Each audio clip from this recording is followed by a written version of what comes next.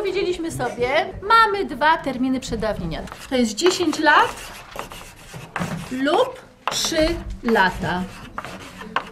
Proszę Państwa, być może obliczenie terminu przedawnienia wydaje Wam się na tą chwilę skomplikowane, ale za chwilę zrobimy ćwiczenia, co Wam na pewno rozjaśni ten problem. Ćwiczenie robimy oczywiście w parach, chyba że chcecie zrobić to indywidualnie. Proszę. Przepraszam pani profesor, ale Paulina Przewoźnik jest proszona do pani dyrektor. Muszę ją teraz zabrać. Dobrze, Paulinko, jak musisz, to proszę bardzo, zwalniamy Cię, a my przystępujemy do wykonania ćwiczenia.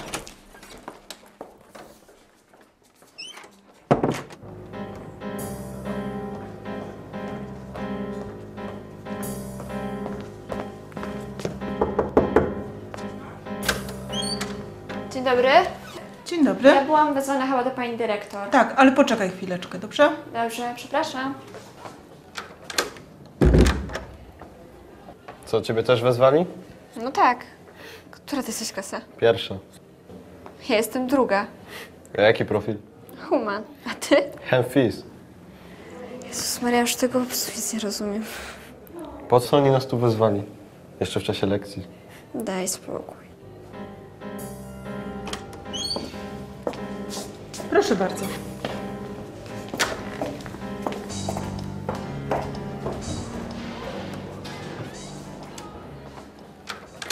Kochani, poprosiłam Was do siebie, bo mam do Was wielką prośbę. Chciałam Was prosić o wykonanie prezentacji. Prezentacji, która pokazałaby 70 lat historii naszej szkoły. Zostaliście wytypowani przez swoich nauczycieli i myślę, że sprostacie temu zadaniu. A na kiedy ta prezentacja? No, na jubileusz, na 14 lutego. Dobrze. Także czasu jest niewiele. Tego jest tak dużo. No, a co ty myślałeś? 70 lat.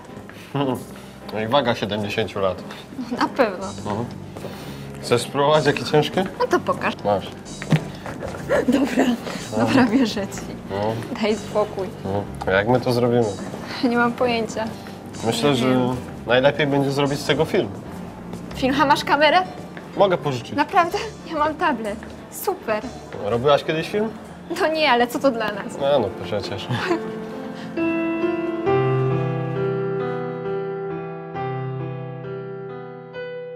70 lat istnienia jakiejś instytucji czy życia człowieka to ogromny szmat czasu, zwłaszcza gdy się ma 18 lat. Historia mojego miasta sięga XIII wieku. Najstarsze zabytki pochodzą z XIV i zostały budowane na polecenie Kazimierza Wielkiego. To właśnie również dzięki niemu wzniesiono tu zamek myśliwski i gotycki kościół. W okresie panowania Jagiellonów Niepołomice zyskały niezwykły prestiż, ale po przeniesieniu stolicy z Krakowa do Warszawy straciły swoje dotychczasowe znaczenie. Dopiero w XVIII wieku władze austriackie nadały Niepołomicom prawa miejskie. Powstały tu zakłady przemysłowe, rozwinęło się szkolnictwo, organizacje patriotyczne. Współcześnie gmina Niepołomice znana jest z prężnie rozwijających się tu stref przemysłowych. 70-letnie dzieje mojej szkoły są tylko niewielkim epizodem dumnej historii miasta, ale aby go poznać, udamy się śladem pamięci tych, dla których nauka w naszej szkole była ważną częścią życia.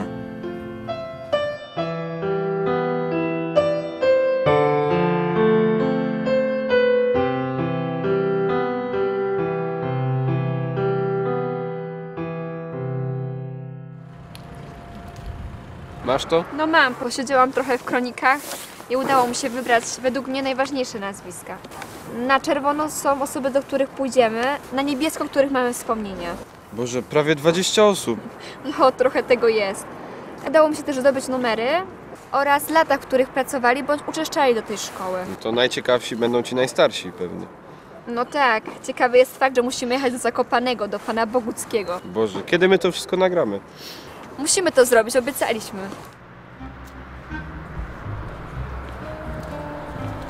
Ty, to chyba ten dom, 39. No tak. To co, kręcimy? Dobra, ustawiaj się. Okej? Jestem gotowy. W tym domu państwa Wójtowiczów, o którym pisał w swoich wspomnieniach Jan Zięba, jeden z założycieli naszej szkoły, wszystko się zaczęło. Dowiedziałam się ze wspomnień Jana Zięby, że w tym domu było tajne nauczanie. Tak, było tu tajne nauczanie.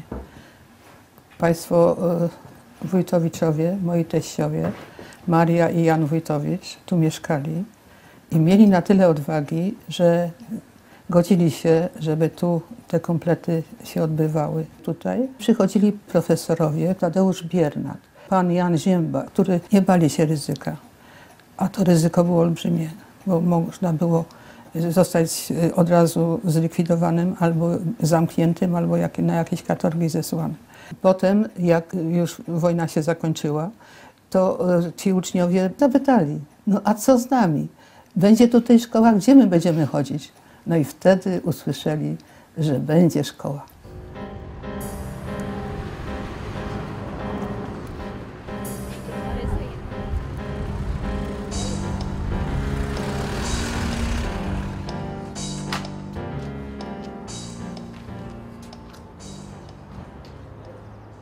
Proszę księdza, dowiedziałam się, że w parafii znajduje się kronika, w której jest wpis z 1945 roku, który mówi o początkach naszej szkoły. Proszę usiądźcie, a ja ją wezmę i będziemy przeglądać. Warto by było uświadomić sobie, w jakiej atmosferze dokonywało się tworzenie szkoły. Prawdopodobnie to ksiądz jeszcze Mizia napisał. Nareszcie zdawało się, że te koszmarne dni trwają wieki, skończyło się z Niemcami. Baliśmy się z nimi ostatniego pożegnania, bo różne wieści szły. Na pamiątkę w ostatniej chwili zabrali mi parę koni z wozem i bryczkę, ale poszli. Posiedzieliśmy ze trzy godziny w piwnicy, a armaty jeszcze grały. Rano jeszcze Niemcy zdemolowali elektrownię, w zamku minę założyli, porwali co mogli, a koło południa ich już nie było. To jest właśnie ten czas wojenny.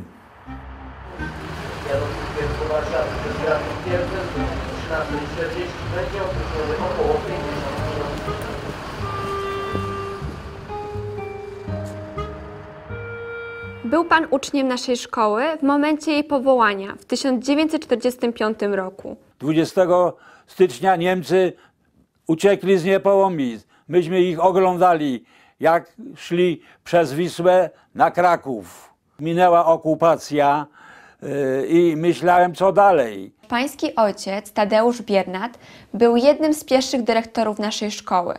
Czy mógłby pan powiedzieć o nim kilka słów? A może on sam coś powie na ten temat? No ale w jaki sposób? Bo mam jego nagranie. Angażowano mnie do tajnego nauczania, no i przeszło ono aż do stycznia 1945 roku z różnymi perypetiami. No a potem y, rodzice uczniów tego tajnego nauczania zażądali od nas, którzyśmy te lekcje prowadzili, żebyśmy tutaj założyli gimnazjum. Że jest taka spora ilość kandydatów do gimnazjum, że z pewnością się uzbiera odpowiednia liczba uczniów, ażeby można było szkołę założyć. No i założyliśmy. To były też perypetie z tym związane, ciekawe. To grono profesorskie, to właśnie pan Tadeusz Biernat i pan Jan Zięba, to oni obiecali i zaczęli realizować. Już 14 lutego poszli na piechotę do Krakowa, dlatego że żadne pociągi nie chodziły. Była zima okrutna. Te 25 kilometrów przebyli, dotarli do kuratorium. To sam kurator siedział w, w, palcie w takim chłodnym bardzo pomieszczeniu i pyta się, a e, uczniów macie? Mamy. A nauczycieli macie? Mamy. A ławki macie? No to uczcie. I to były wszystkie formalności. Niesłychana sprawa. Wtedy, gdy organizowano szkołę, to wtedy już zaangażował się także w tę organizację szkoły ksiądz Andrzej Fidelus, który tu już pracował jako wikariusz od roku 1941, a więc w 1945 już dość dobrze ludzi znał, znał młodzież, która go, tak jak mówią wszyscy starsi w Niepołomicach, bardzo lubiła. Szukali jakiegoś lokum. Najlepsze było miejsce mogące pomieścić tych uczniów w zamku w Niepołomicach. Ale tam jeszcze Niemcy zostawili swoje bałagany. Trzeba było najpierw y, sprawdzić, czy nie ma jakichś niebezpiecznych mm, niewypałów, czy jakiejś innej broni. Jak wszedłem do zamku, zamek był zniszczony. Ślady widać było, cegły, ruiny na podwórku. Sale były puste, przynosiłem swoje krzesła, żeby było na czym siedzieć. I proszę sobie wyobrazić, i uczniowie, i rodzice wszystko to y, porządkowali, a nadto y, ci, co mieli warsztaty jakieś stolarskie czy coś, zbijali ławki, żeby ci uczniowie mogli z nich korzystać. Miałem no prawie 17 lat, jak mnie mama zapisała w szkole. No płaciło się, przez dwa lata płaciło się czesne. No było nas tam w tej klasie 80 osób, z tym, że później podzielono nas na dwie klasy. Klasa A i B. Książek nie mieliśmy, bo to było po wojnie. Jedna książka się znalazła, no to my robili odpisy z tej książki, żeby później sobie coś tam przeczytać. Czy zachowały się jakieś fotografie z tamtego okresu? Najbardziej to jest taka wzruszająca fotografia grona nauczycielskiego, które mnie uczyło. Pan dyrektor y, Tadeusz Biernat, pani Janina Ptak, Naszą wychowawczynią była pani magister Anna Ptak, która nas właśnie uczyła, opiekowała się nami. Była wspaniałą nauczycielką, wyrozumiałą i była naszą opiekunką. Służyła nam pomocą. Byliśmy no, jej jakby dziećmi. Czy było ciężko na początku? Na początku wszystko zawsze było ciężko, a potem się zrobiło lżej. Czy pamięta pani pana Biernata, pan Tadeusz Biernat? Tadziu Był dyrektorem, prawda? chciał zawsze nam dopomóc, jak się dało. A pierwsza matura? Pierwsza matura nie była ciężka, nie wymyślali nic ciężkiego. Chcieli, żeby sobie dać radę. Tak, żeby się dostać na studia później, No. prawda? Właśnie. Pani uczyła francuskiego. A jak mówi na panią uczniowie na przykład? Madamka, Madame K. To była bardzo ciepła, serdeczna osoba o dużej wiedzy, ale takim podejściu do ucznia. Jak człowiek ją spotkał z tą buzią uśmiechniętą, to, to mimo woli swoje troski gdzieś ten uczeń y, umykały mu no, po prostu z jego zasięgu. Jak poszedłem do gimnazjum, to się zaczęła nauka o Polsce. Marzyliśmy o zwiedzeniu Warszawy, co nam się udało, bo była wycieczka i byłem wtedy w Warszawie. Ruiny, no strasznie wyglądała.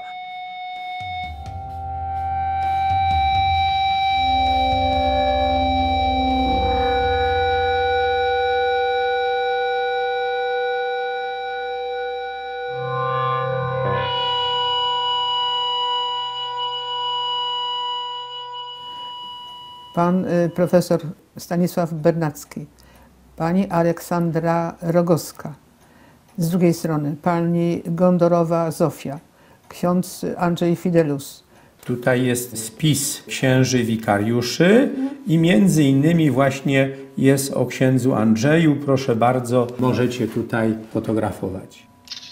Ksiądz Fidelus był znowu postacią tak barwną, tak niespotykaną. On uczył nas religii. Miał najpierw motor, a potem samochód. Rysowaliśmy na tablicy taki model tego samochodu i śmialiśmy się z niego.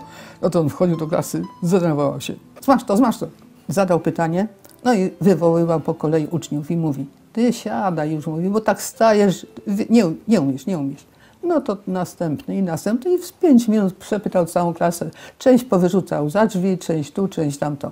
Za moment, jak mu to przechodziło, te nerwy, to on potrafił idź no tam po niego, idź no tam po niego. No ale potem jak maturęśmy zdawali, to przychodził i mówi, nie martw się, wszystko będzie dobrze, przecież umiesz to, popatrz się, na spokojnie to wszystko trzeba brać i tak dalej. Czy obowiązywały w tamtym okresie jakieś szkolne stroje? Nosiliśmy tylko czapki, którą, którą właśnie mam nawet na zdjęciu.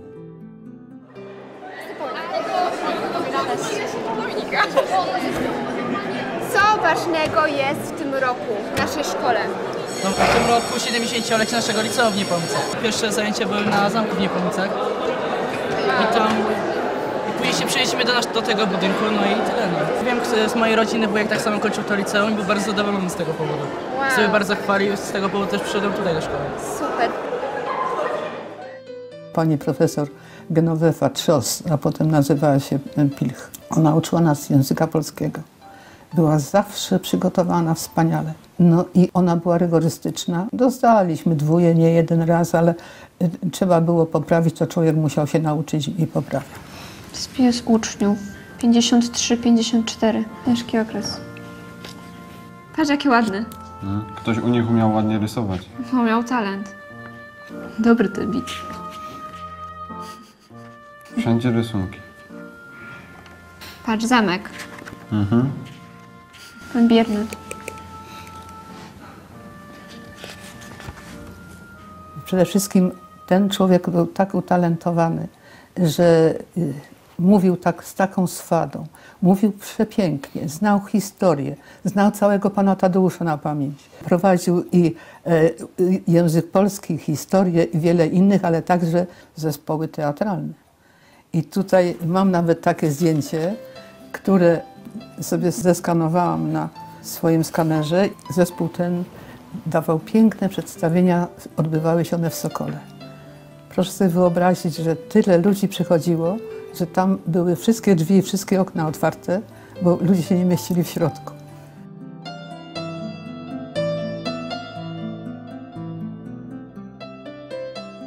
Ale i ojciec nie miał zbyt prostego życia, dlatego że był chyba bodaj jedynym nienależącym do PZPR-u dyrektorem w całej Małopolsce, a przez to coraz go wzywano do Komitetu Powiatowego w Bochni, gdzie, gdzie musiał się tłumaczyć, nie bardzo wiem z czego, ale zdarzało się, że, że nawet uczniowie potrafili na niego jakieś tam donosy słać. Drodzy Państwo, dzisiaj będziemy się zajmować szkieletem człowieka. Będziemy sobie omawiać wszystkie kości, które w jego skład wchodzą.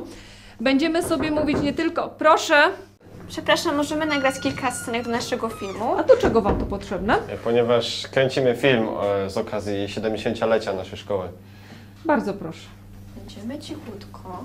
Dobrze. Przechodzimy do tematu. Nie tylko będziemy sobie omawiać budowę tego szkieletu jako takiego, ale będziemy również mówić o rodzajach kości.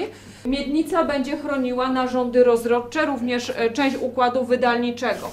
Kręgosłup będzie chronił rdzeń kręgowy. Oczywiście od niego odchodzą nerwy, które będą unerwiać cały organizm. Zapraszam Milenkę, która nam pokaże poszczególne kości tego szkieletu. Tutaj mamy kręgosłup, który dzieli się na kilka odcinków. Tutaj jest odcinek szyjny, dalej piersiowy, lędźwiowy, krzyżowy oraz ogonowy. Józef Rerutkiewicz. On dodatkowo jeszcze, oprócz tego, że uczył i wykładał różnych przedmiotów, wiele przedmiotów, to jeszcze zajmował się sportem i, i prowadził u nas w szkole nabór i potem jeździł z nami na zawody koszykówki. Drużyna nasza występowała na różnych spartakiadach, załatwiał sprawy trenerów do gimnastyki. W Sokole odbywały się zajęcia w zakresie gimnastyki i tam prowadziła z nami zajęcia pani profesor Rakoczy.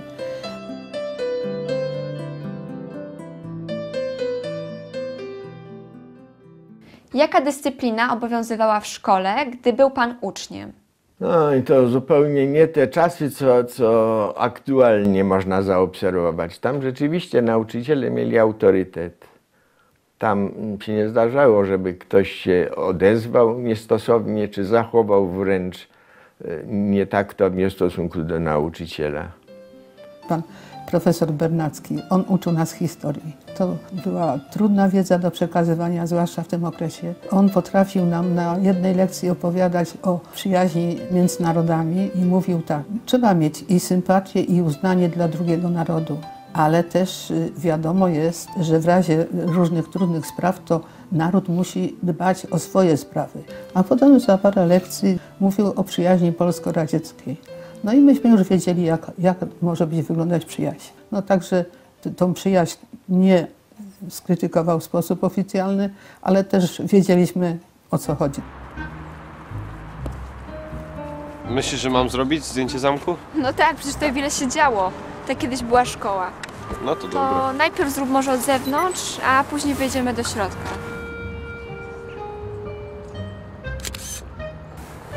Patrz, myślę, że fajnie wyszło. No fajnie, ciekawe. Nada się.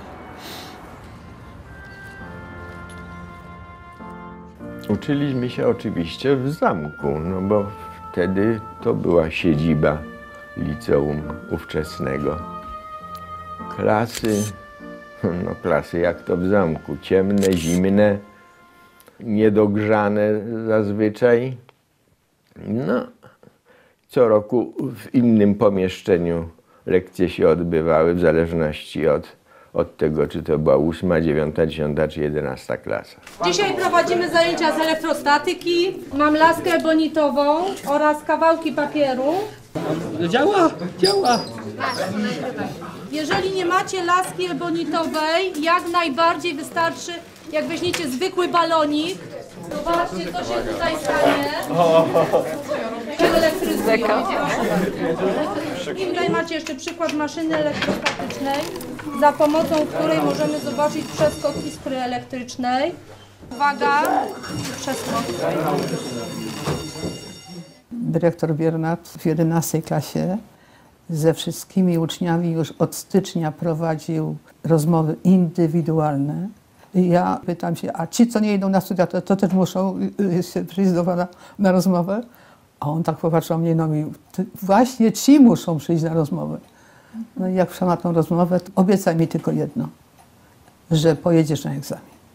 On był zafascynowany młodzieżą. On tej młodzieży chciał doradzić, jak wybrać kierunek. Nauczycieli mieliśmy właściwie wspaniałych. Począwszy od pani Aleksandry Rogowskiej, matematyczki świetnej. Później zaczęła nas w dziesiątej klasie uczyć pani Cesia Żurkówna. Mieliśmy i oryginała swojego rodzaju, pan profesor Antoni Ginter, historyk doskonały, późniejszy dyrektor Muzeum Lenina w Krakowie. Uczył nas przez rok czy dwa historii. Kartkówki, które nam co jakiś czas zarządzał, lądowały bez sprawdzania w koszu zazwyczaj, no ale, ale w jakiś sposób nas to mobilizowało do, do nauki. Have a look at the picture here. Yes, you do recognize it. It's called Avatar. That's right. How many people have seen it? Okay, is it about the present time or it's about the future? It's about the future. That's right. Okay. So, did you like the film? It tells the story of the Navy, the population of the planet of Pandora. They are mineral found on their planet. Ja miałam łatwość matematyki. To y, uczniowie pytali mnie y, y, o jakieś rozwiązania, których tam nie rozumieli i tak dalej. I ja tak całą przerwę zawsze przed każdą matematyką wykładałam na tablicy. Nie wiedziałam wtedy, że potem przyjdzie mi właśnie uczyć tej matematyki w tej szkole. Nie miałam wyjścia, skoro dyrektor poprosił, musiałam się zgodzić. Maturę zdawałem w 1963 roku. Było nas bodaj 27 osób. No, stres był, to nie ulega wątpliwości. Sporo przedmiotów trzeba było zdawać. Bo i, i, i oprócz polskiego matematyki pisemnie ustne, no ale była wiedza o społeczeństwie, była historia bodajże, był jeszcze wybrany przedmiot, także trochę było. No i przeprowadziłam tych uczniów przez maturę. I żaden z moich uczniów mnie nie oblał. Błażej, no gdzie jest ta brzeska? Już idziemy trochę. No, gdzieś nad Wisłą. Wisła jest długa. Dobra, czekaj, wyciągnę GPS-a.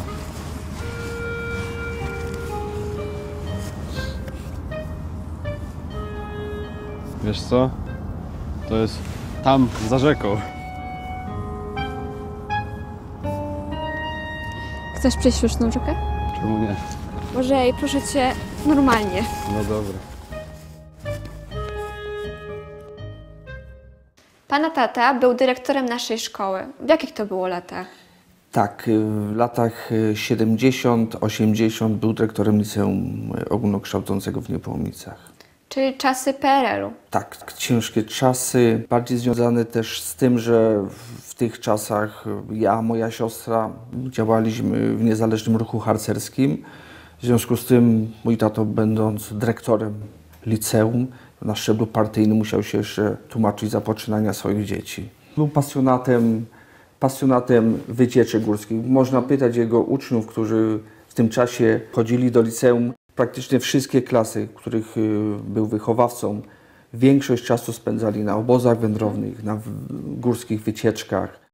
Jak układała się współpraca pomiędzy szkołą a harcerstwem? Tak się złożyło, że po zdaniu matury stworzyłem środowisko szczepu jesienią 76 roku. Kadra szczepu w większości przez pierwsze lata, ale i kolejne pochodziła właśnie z liceum ogólnokształcącego. Na początku władze tutaj lokalne przyjęły z dużym entuzjazmem środowisko, no ale potem te lata idylli się skończyły, gdy przyszedł sierpień 80 roku i zaczęła się polaryzacja polityczna. Środowisko, które włączyło się w ruch kręgu Małkowskiego, czyli w ruch harcerskiej opozycji, zostało zdefiniowane jako środowisko antysocjalistyczne przez władze partyjne, no i zaczęły się kłopoty. W zasadzie usunięto nas ze szkół. Myśmy na tyle wtedy już byli silni, samodzielni, że, e, że to tylko wzmocniło e, środowisko. Staliśmy się w ten sposób szczepem środowiskowym.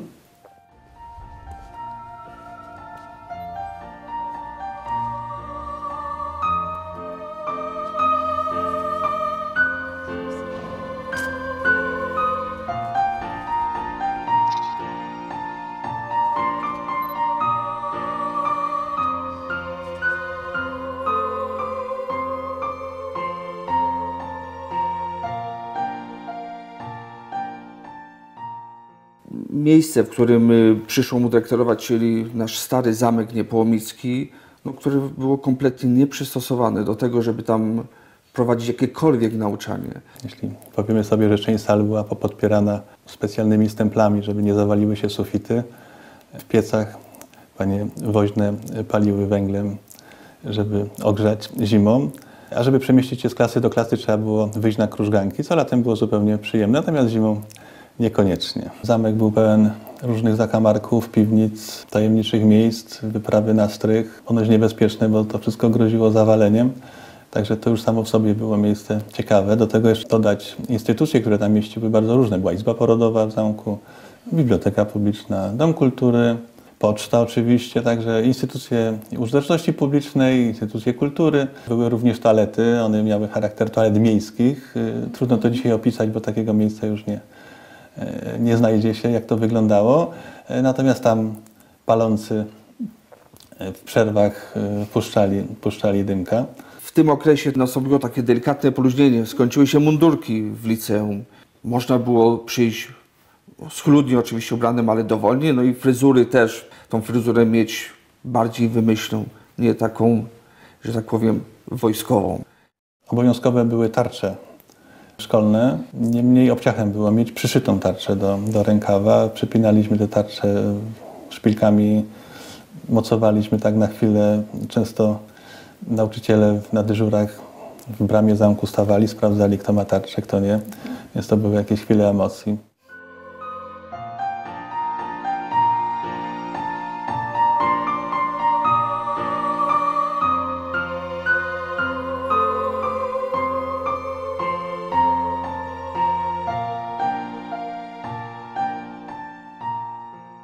Koniec y, lat 70. doszło do tego, że tam się sufit zawalił. Dlatego w tym 80 roku to liceum już biegiem było przenoszone do nowego budynku przy ulicy 3 Maja. Ja wtedy byłam przewodniczącą Rady Miasta i też byłam w komitecie odnowy zamku w Niepołomicach. Właściwie to się nie wierzyło temu, że po- podołamy tej budowie i właśnie pani y, profesor Janina Ptak potrafiła pojechać gdzieś tam na Śląsk i dotrzeć do pana klasy, który był wtedy na wysokim stanowisku i ona dopiero spowodowała, że te środki finansowe się znalazły i szkoła już była, prawda? Dobra, zrób to zdjęcie. Bo tutaj kiedyś była siedziba naszego liceum, zaraz po zamku. Pokaż. Dobra, super. Szkoła była budowana dla liceum. Okazało się 1 września 1980 roku, że przybyła nam jeszcze szkoła podstawowa numer 2. Także muszę powiedzieć, że ani młodzież, ani grono nie było zadowolona z tego, bo przecież czekaliśmy na to, że to będzie budynek dla liceum. Stało się inaczej.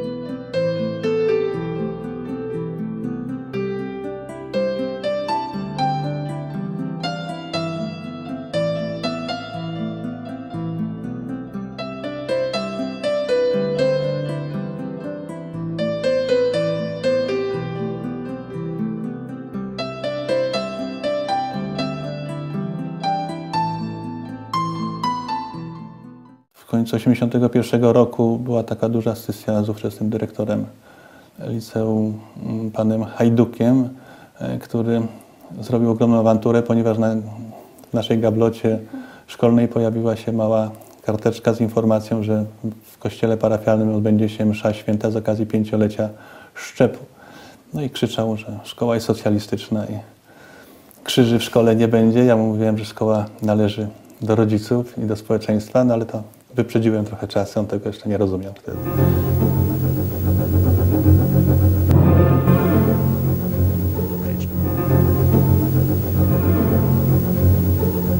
no, okres stanu wojennego, yy, więc no, okres był taki, że nawet yy, na początku, chyba przez pierwsze dwa lata, nawet studniówek nie było, bo były zakazane.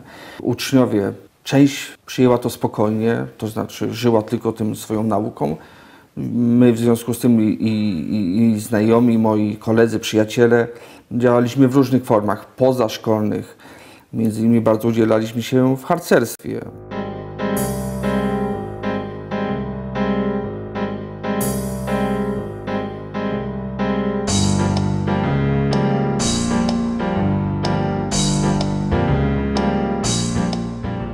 Objął Pan funkcję dyrektora w trudnym okresie stanu wojennego. Jaka atmosfera była wtedy w szkole? No, w szkole nie była najlepsza atmosfera, dlatego że e, grono było takie skonfliktowane, były problemy, było dwóch dyrektorów.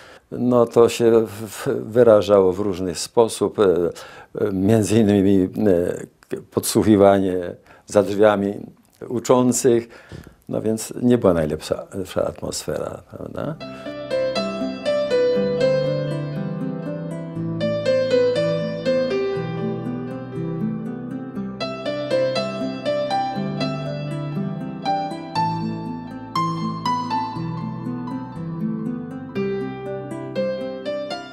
Gdy wróciliśmy z harcerskiej, nielegalnej pielgrzymki do, do Ojca Świętego, zdjęcia z tej pielgrzymki z, z ogniska harcerskiego w Castel Gandolfo z Ojcem Świętym e, trafiły na szkolną gazetkę w liceum. Ówczesna wicedyrektor usunęła te zdjęcia. Miałem trudną z nią rozmowę. Ona mi oświadczyła, że takich postaci jak Karol Wojtyła, bo nie mówiła Ojciec Święty, szkoła promować nie będzie. Jeśli chodzi o szczep puszcza, no wiele osób miało z tego tytułu określone nieprzyjemności, że ich dzieci należą do takiego szczepu, e, który kultywuje przedwojenne tradycje. Udzielaliśmy się też y, w opozycji. Mm, Koledzy z liceum roznosili ulotki, ym, często byli za to represjonowani. Mój brat Tomek, najmłodszy mój brat, był y, zatrzymany w Nowej Hucie z plecakiem pełnym ulotek i przez rodziców odbierany o północy y, z, z Komendy Wojewódzkiej, z Mogilskiej. Niejednokrotnie Służba Bezpieczeństwa potrafiła przyjeżdżać do szkoły i pytać, jak młodzież się zachowuje i dlaczego akurat tak, a nie inaczej. trudne czasy, ciężkie czasy związane z tym, że tak naprawdę nie było tej wolności. Wszyscy musieli uważać na to, co robią. Co wiesz o 70-leciu naszej szkoły? A ty? Co wiesz? Nic poza tym. Skoro objąłem to stanowisko dyrektora, no to najpierw musiałem dokończyć wyposażenie szkoły. Sala gimnastyczna była, ale nie było tam nic. Sala została wyposażona w drabinki gimnastyczne, kosze do koszykówki, słupki do siatkówki i do piłki ręcznej. Oprócz tego zakupiłem jeszcze w Krakowie pięć komputerów Atari. Powiedziano mi, że w Ameryce całe społeczeństwo wychowało się na tych, na tych komputerach. No więc wprowadziłem do szkoły i to było pierwsze spotkanie młodzieży.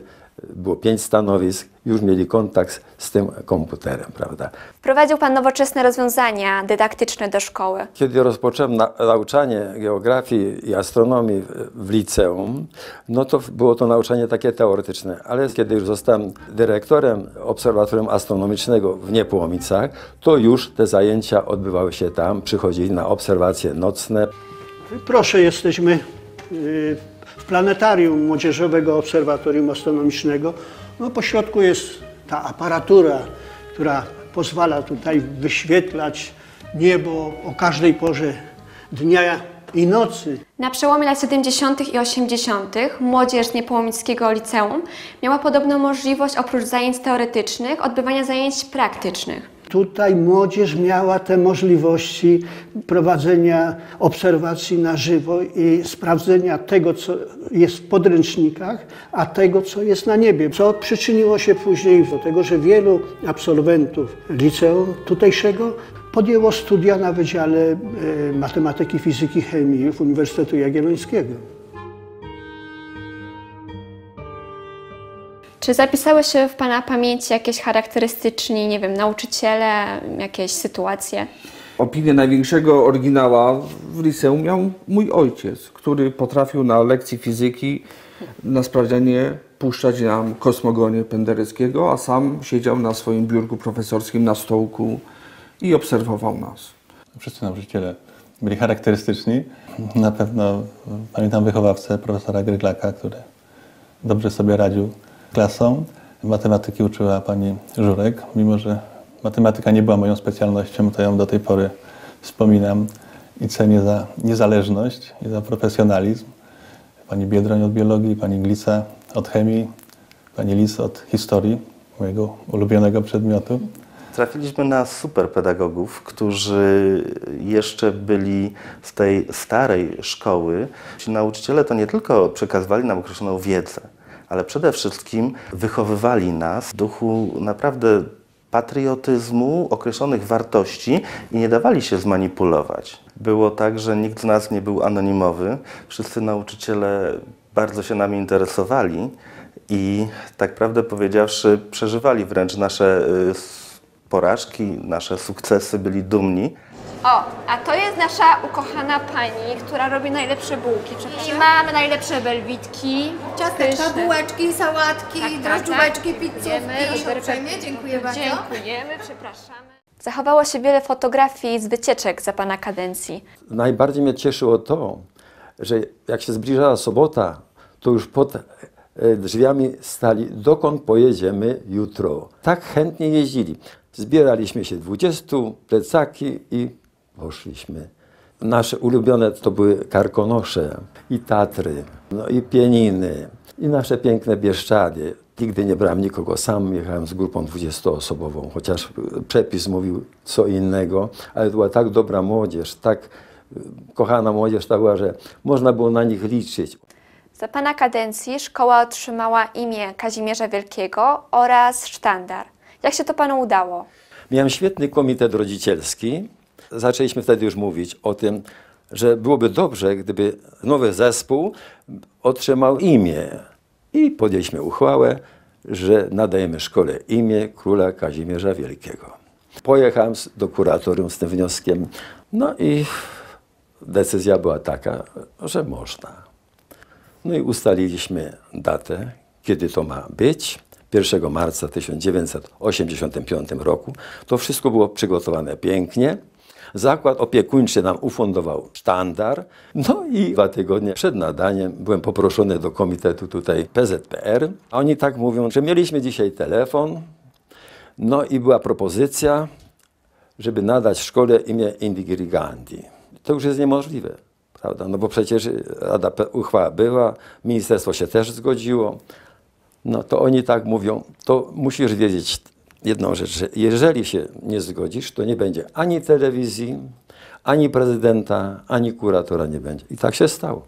Ja czekałem w gabinecie, ta młodzież czekała już na sali gimnastycznej, a jak już nas poprosili, że wszystko gotowe, to jak szliśmy korytarzami, to tak jakby ten duch Kaźmierza się unosił, jakby, jakbym coś to widział. Ta, taka była piękna atmosfera.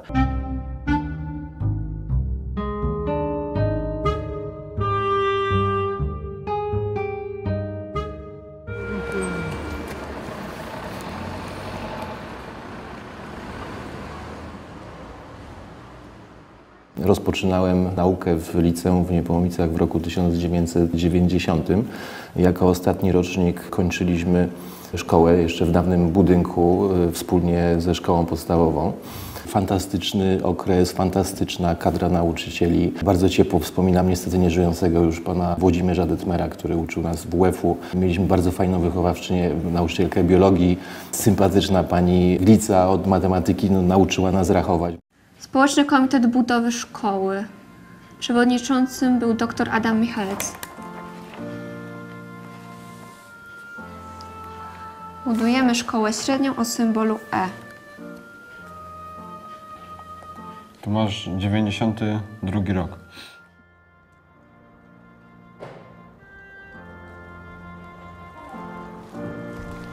Dzień dobry. Dzień dobry, witam. Już jesteście? Tak, tak, czekaliśmy. Dowiedziałam się, że był Pan w komitecie budowy naszej szkoły. Mógłby Pan coś opowiedzieć o tym nietypowym kształcie budowli? Wszystko jakoś zaczęło się w latach, początek lat 90., 93, y, czwarty rok, ponieważ y, wszystko wskazywało na to, że idzie kolejny wyż y, demograficzny i liceum, które mieściło się tam nieopodal w- w szkole, była straszna ciasnota. Więc trzeba było podjąć jakąś e, decyzję, a z, w związku z tym, że ówczesny burmistrz Stanisław Kracik powiedział, jak dacie radę, to ja wam pomogę i tak dalej. A w tym miejscu, gdzie teraz mieści się to, ten zespół szkół, to były e, takie stajnie dla koni, później jakiś zakład taki produkujący wędki i tak dalej. No i ten teren należał do gminy, Miałem tą przyjemność, że pełniłem obowiązki przewodniczącego Rady Miejskiej pierwszej kadencji. No I to był szczególny czas, bo to był czas nowego samorządu w Polsce. Sprawy oświaty były dla nas sprawami kluczowymi. Byliśmy jedną z pierwszych gmin w Polsce, która przejęła oświatę. Jak przyszedł na burmistrza pan Stanisław Kracik, on miał taką śmiałość w podejmowaniu decyzji i nie burzył tych pomysłów i tych marzeń wielu osób, które wtedy inicjowały tą budowę.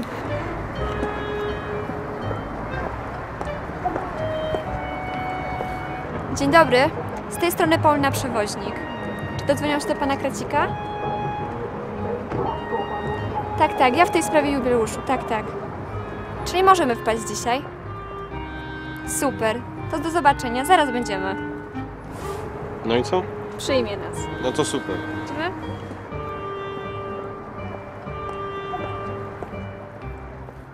Ta szkoła powstała na takim terenie, gdzie kiedyś funkcjonowała spółdzielnia.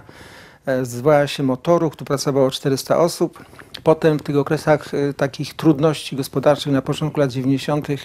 e, no ona zaczęła bankrutować. Wykupiliśmy długi spółdzielni, żeby można było wyburzyć te stare, jeszcze poaustriackie baraki, których tam stały kiedyś konie, a potem maszyny i przystąpić do budowy tej szkoły. I to, co warto powiedzieć, to dla mnie to było niezwykle istotne, że to pierwsze skrzydło, czyli pierwszy rocznik, to jest od Auli wzdłuż Kazimierza Wielkiego, wybudowaliśmy w 4 miesiące. To był absolutny szok dla mieszkańców Niepołomic. Ja widziałem i byłem z tego dumny, jak stawali ludzie i mówili, popatrz, można w takim tempie? No i to się udało. No. Dzięki sprzyjających władzom zespół ludzi był, no powiedzmy tam 6-8 osób, plus ówczesna pani dyrektor, pani Maria, y, z całym zapałem od rana do nocy, w wolnych chwilach poświęcaliśmy. Łaty. No, fundatorów to to miało. Patrz, To ten akt erekcyjny. Hmm? On chyba wisi koło sekretariatu. No tak, tak. Co pan pamięta z czasów, kiedy mama była dyrektorem szkoły? Najtrudniejsze lata przypadły akurat na okres, kiedy e, była dyrektorem, mianowicie e, zaczęła się budowa nowej szkoły. Powiem szczerze, że była bardzo dumna i jednocześnie szczęśliwa, że mogła kontynuować dzieło rozpoczęte zaraz po II wojnie światowej, powołanie liceum w naszym mieście. E, I stało się to jej e, praktycznie celem m, prawie że życia. Od strony technicznej miała tu oczywiście problem rozwiązany, dlatego że wszystkim zajmował się burmistrz Stanisław Kracik, który nadzorował budowę. Rzeczywiście zaczęliśmy na samym początku maja i 1 września uczniowie weszli do szkoły i było tu otwarcie y, roku szkolnego, takie województwa krakowskiego z kuratorem, z kardynałem Macharskim. Zaangażowali się y, nauczyciele, uczniowie, ich rodzice i praktycznie wszyscy mieszkańcy naszego miasta. Natomiast od strony merytorycznej, stworzenie nowej oferty edukacyjnej, e, organizacja e, tego wszystkiego, to spoczęło na jej barkach i powiem szczerze, że e, no, kosztowało ją to bardzo wiele wysiłku. Zawsze jednak podkreślała, że sama nie dałaby sobie to, rady, gdyby nie to, że wszyscy nauczyciele tutaj bardzo ją wspierali i bardzo dużo pomogli. Była zawsze dumna, że ta szkoła powstała w takiej formie, jak jest, że liceum doczekało się własnej siedziby. Jak po pięciu latach funkcjonowania tej nowej szkoły odwiedzili nas e, goście z Japonii, e, Rada Miasta Shihoro i zwiedzaliśmy szkołę. Byliśmy z tej szkoły dumni, bo no, rzeczywiście ona już tak wyglądała imponująco. I, i, I muszę Ci powiedzieć, zapytał mnie burmistrz e, te, tego miasta, ile miesięcy temu oddaliśmy do użytku tą szkołę. Ja mówię, że 5 lat. A kiedy był remont ostatnio? Ja mówię, nie było żadnego remontu. I oni byli również jakby w szoku, jak uczniowie fantastycznie szanowali tę szkołę, że nie było tam skopanych korytarzy, poobijanych jakichś tam, prawda, narożników i tak dalej. E, Warto było się porwać na taką konstrukcję dość wtedy nietypową, jak, jak na, na, na, na polskie licea i zrobić ją tak, żeby właśnie, no, żeby była aula, żeby to było, było to serce szkoły. Myślę, że mm, zarówno tempo, jak i sam projekt, no i potem sposób e, korzystania z tej szkoły e, sprawił, że e, no ja na pewno się z tego cieszę, że jest jak jest. O, 6 grudnia, 94. O, uroczyste nadanie imienia Ojca Świętego Jana Pawła II. Czyli 6 grudnia. 94. Tak się składa, że e, ja zaproponowałem Radzie Miejskiej, że w związku z jubileuszem, że w Niepomicach powinniśmy również pomyśleć o nadaniu obiektowi e, jakiemuś e, imienia Jana Pawła i Rada zdecydowała, że to będzie właśnie szkoła. Jan Paweł II, a konkretnie Karol Wojtyła, był z Niepołomicami związany w sposób szczególny z uwagi na sanktuarium Karola Boromeusza, jedno z dwóch w Polsce. I on każdego 4 listopada na swoje imieniny tu przyjeżdżał, jak był w Krakowie. Mówię o tym dlatego, że te związki kardynała Wojtyły z Niepołomicami były silne, więc ten wybór wydawał mi się dosyć oczywisty, bo ta decyzja była decyzją e, szkoły i rodziców. Mama była zawsze dumna, że ta szkoła powstała w takiej formie, jak jest, że liceum doczekało się własnej siedziby, a kiedy patronem szkoły zechciał być nasz Jan Paweł II święty, zgodził się na to. Wtedy wycieczka do Rzymu stała się jej ukoronowaniem, tak jakby kariery byli przyjęci na audiencji i wróciła no, bardzo szczęśliwa. No, niestety później zdrowie się y, posypało no, i nie mogła kontynuować tego dzieła, ale zawsze dobro liceum, ta szkoła leżała jej na sercu i no, cieszyła się, że coś jednak po niej zostanie. Dobrze, że ten patron y, y, no, został wybrany właśnie tak celnie, trafnie, ponieważ y, ogromne przesłanie humanistyczne, przesłanie moralne, ale także i przesłanie wiary, które niesie ze sobą patron święty Jan Paweł II, papież, jest znakomitym wzorem dla młodzieży. I widzę, że mm, ta młodzież odkrywa e, w różny sposób, czasem nawet się buntując, odkrywa wartość e, tego patrona, jego przesłania, jego osobowości, przykład jego życia. Błażej, wpisz dżem. Okej. No i co? Widzisz tego faceta? Tak? To Jacek Dywódzki. Ten, co my z nim wywiad mamy? No tak, A przecież my robimy o nauczycielach. on był nauczycielem. Serio? Zobaczysz. O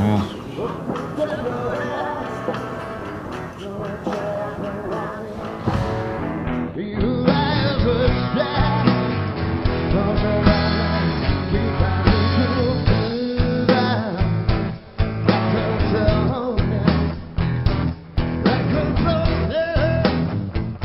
Jakiego przedmiotu pan uczył tutaj? Przysposobienia obronnego. Okej, wyobrażam sobie pana z gitarą, no ale z kałachem. Żadna różnica, Rety. Z kałacha się fajnie szczela, a na gitarze się fajnie gra. A to życie artysty z życiem nauczyciela łatwo połączyć? Życie artysty i życie nauczyciela jest właściwie takie samo, ponieważ tak na dobrą sprawę e, nauczyciel powinien być artystą, a ja miałem takie mm, powołanie, żeby dzieci nauczyć rysować. O. I kazałem prowadzić zeszyt. Nie kazałem kupować książek, ponieważ te informacje, które są na przysposobieniu obronnym, w zasadzie to każdy je ma już w głowie od urodzenia, tak szczerze mówiąc, bo to są rzeczy, które są bardzo oczywiste, no tylko że ludzie mają taką wadę, że są strasznie ślepi. I robiłem takie różne rysuneczki związane z przysposobieniem obronnym, jak na przykład wybuch bomby atomowej, a tam samolocik leci, tu czołg jedzie, coś takiego. I oni bidoki musieli to przerysowywać i to kolorowo jeszcze, kredkami, no bo kredki w wojsku się używa dosyć często do robienia map. A poza tym jest taka e, zasada w ogóle, że człowiek, który umie rysować, e, to dużo lepiej e, rozumie świat. Co znaczy ten napis? Sed vt sapientes redimentes temps? Tempus. Temps. Jestem. O super. Proszę panią, mamy takie pytanie, Tak? bo z Błażejem zastanawiam się, co to znaczy ten napis. A chyba on powstał, jak pani była dyrektorem naszej szkoły. Tak, owszem. Ten napis pochodzi z księgi Nowego Testamentu, z listu do Efesjan i mniej więcej brzmi tak. Baczcie więc pilnie, jak postępujecie, nie jako niemądrzy, ale jako mądrzy. Wykorzystujcie chwilę sposobną, bo czasy są złe. A w jakich latach była pani dyrektorem naszej szkoły? Y, Ja byłam dyrektorem w latach 2000-2007. Nie ukrywam, że ze szkołą y, właściwie z szkołą, prawda? y, Zderzyłam się już w 1996 roku, kiedy zaczęłam pracować w nowo powstałym wówczas liceum handlowym. Następnie od 1996 roku funkcjonowałam w tej szkole jako wicedyrektor, ucząc przedmiotów zawodowych.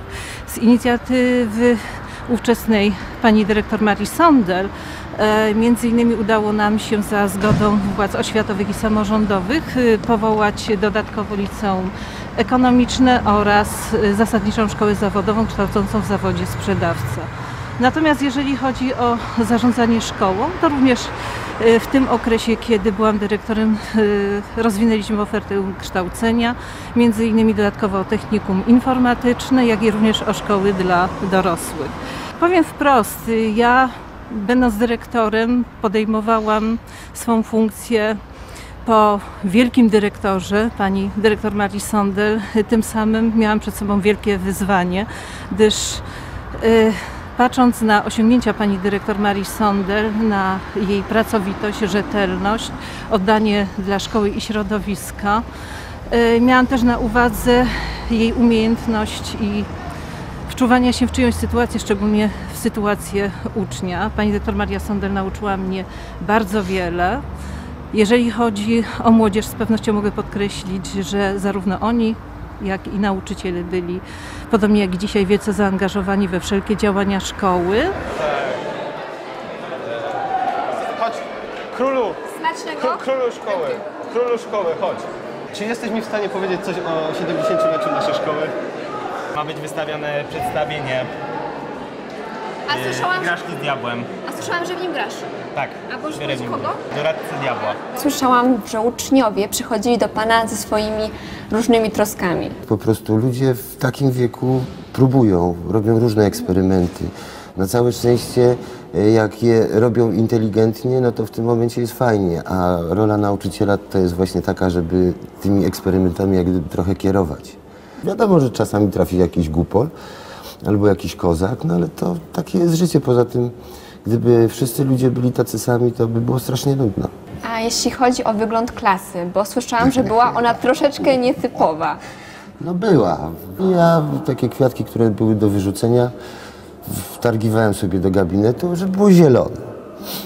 Choćby z tego powodu, żeby udowodnić, że noszenie kamuflażu, bo chodziłem w mundurze do szkoły, ma sens, bo robiłem taki eksperyment, że chowałem się za kwiatka, mówiłem, teraz mnie nie widać, po czym wychodziłem, mówiłem, a teraz mnie widać. Potem się znowu wracałem i jak gdyby eksperyment na żywo. Człowiek jest szczęśliwy wtedy, kiedy się śmieje, to znaczy wtedy, kiedy wszystko traktuje z poczuciem humoru. To nie chodzi o to, że niepoważnie. Wszyscy myśleli, że ja traktuję to, co robię niepoważnie, bo się cały czas uśmiecham i się śmieję, a ja jestem wesoły gość. No to nic, ja niestety, kochani, to ja już muszę lecieć. Aha, aha, na jakiś koncert się Nie wiem. Gdzieś Świat. tam. Światki. Di, di, di, di. Wiesz, że ja go pamiętam z korytarzy? Serio? No, całkowicie się tu w ogóle nie mieścił. E, Rozwiane włosy, spodnie moro, po prostu jak nie nauczycie. Wojskowy. Wojskowy to mało powiedziane. Bardziej taki artysta, ale też z powołania nauczyciel. Jak uczniowie go widzieli, to od razu uśmiech na twarzy się malował. Strasznie byli ucieszeni. Taki wianuszek dziewczyn za nim chodził cały czas. Super. Super, bardzo fajnie. No, uroczystość wręczenia sztandaru. Ty to patrz, wtedy był burmis- burmistrzem Stanisław Kracik. A dyrektorką zespołu szkół magister Maria Sondel.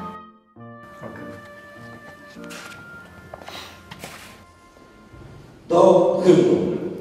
Polska jest ideą.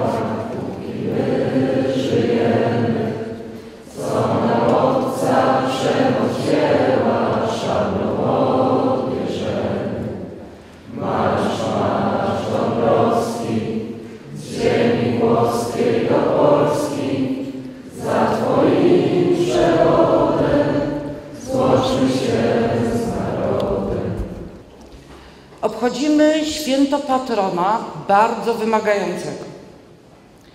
Patrona będącego w momencie, kiedy zostawał patronem naszej szkoły papieżem, a który w dniu 27 kwietnia 2014 roku został świętym. Moi drodzy, za chwilę nastąpi uroczyste ślubowanie na sztandar naszej szkoły. Będą ślubować uczniowie klas pierwszych. Jest to bowiem moment symbolicznego i świadomego ich przystąpienia do szkolnej społeczności. Bardzo proszę o powstanie również strażaków. Do ślubowania. Wierni tradycji naszej szkoły, której naczelnym zadaniem jest wszczepiać w umysły i serca młodzieży ideały mądrości i praworządności, pilnie i systematycznie uczyć się, ciągle poszerzać swoje zainteresowania i doskonalić umiejętności. To ślubowanie.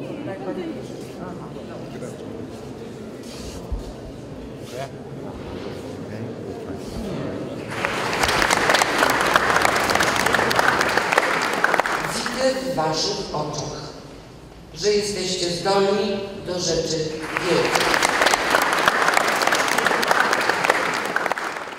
Paulinko, nasza szkoła, czyli zespół szkół, jak wiesz, składa się z liceum ogólnokształcącego, które prowadzimy już od 70 lat, i technikum, które prowadzimy od 1994 roku. W technikum kształcimy w kilku zawodach. Najdłużej kształcimy techników ekonomistów, informatyków, a od niedawna kształcimy także hotelarzy i obsługę turystyczną. Jeżeli chodzi o liceum, no to wiesz, jak się zmieniło bardzo liceum, to które było kiedyś, od tego, które mamy dzisiaj. Że dzisiaj wybieracie sami przedmioty rozszerzone, reali- możecie realizować ogromną gamę tych przedmiotów w bardzo niedużych, fajnych grupach. Jeżeli chodzi o technikum, największym sukcesem to są nasi panowie, czyli informatycy, pierwsza setka w kraju. A jeżeli chodzi o liceum, jestem najbardziej dumna z innowacji, które realizujemy. Klasa policyjna i klasa pożarnicza. Cieszę się, że Niepołomicki Zespół Szkół Średnich prezentuje odpowiedni e, poziom, jest dumą dla Niepołomic. E, Gmina e, rokrocznie wspiera funkcjonowanie szkoły. Myślę, że zarówno jubileusz, jak i funkcjonowanie zespołu szkół jest niezwykle ważne dla Niepołomic. Nie wyobrażam sobie tej gminy bez mm, zamku Puszczy Niepołomickiej, kościoła zabytkowego i właśnie tego typu placówki, która kształci młodych Niepołomiczan. Pytanie e, o rolę e, szkoły zawsze jest pytaniem tak naprawdę o decyzję młodych ludzi, e, którzy kończą szkołę podstawową, kiedyś, dzisiaj gimnazjum, o ich wybór, co wybiorą. No więc pytanie, wybierasz Niepołomice, czy też stąd uciekasz? I jak ja zobaczyłem kiedyś potem już absolwentów tego liceum, którzy tu wrócili po studiach w roli profesorów, no to pomyślałem sobie, zamknęło się koło, to jest fantastyczne po prostu.